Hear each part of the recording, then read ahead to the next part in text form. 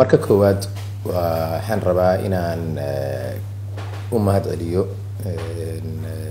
walaalkeen swife oo ah madaxa atmis iyo walaasheen caisa oo ah madaxa unsos. Oo runtii intii aan isla shaqaynaynay dee noo muujiyey in ay waxa ay ku magacaaban yihiin iyo taitalada ay ku magacaaban yihiin dadaal ka badan oo ay ka muuqato inay dhulkan iyo dadkan iyo sidii uu dhibka uga bixi lahaa inay ka shaqeeyaan niyadoodu ay ka sarreyso runtii dad shaqa halkan ka shaqeeya. Marka mahad celintaasaan rabay marka koowaad inaan siiyo marka labaad iyo dabcan iyo tiimamka ay hogaamiyaan. Marka labaad dabcan waxaan iyana mahad gaara hawshaan saldhig ah wasaaradda gaashaandhigga wasaaradda amniga gudaha iyo talisyadooda booliiska iyo ciidanka xoogga dalka soomaaliyeed.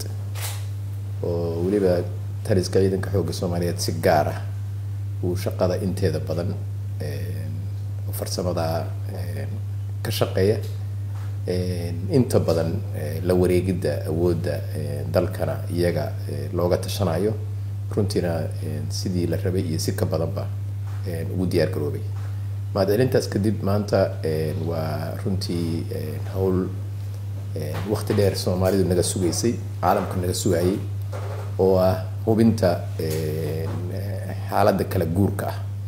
In ay tahay xaalad dhab ah oo dowladda soomaaliya iyo beesha caalamkuba ay committed ku yihiin oo ay haddii ay yimaadaan waxyaabo yar yara ama waqtiyo dib u dhac yar ah aysan ahayn inay shaki galayso in xaaladda kala guurka ah uu shaki ku jiro.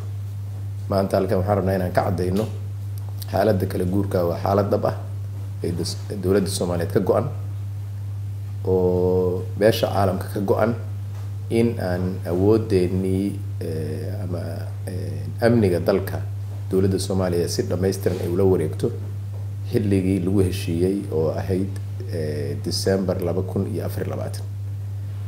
Detailska oo maaragtay face two-ga dhamaystirkiisa waxaa ka hadlay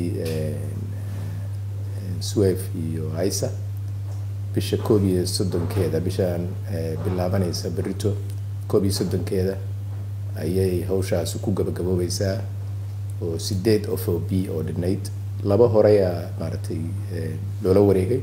Sideedda dhimanna hadda ayaa qorshaheeda la dhamaystiray maalmihii lala wareegi lahaana ay caddahay. Howlo farsamo iyo shaqadeediina ay maaragtay maanta bilaabanayso.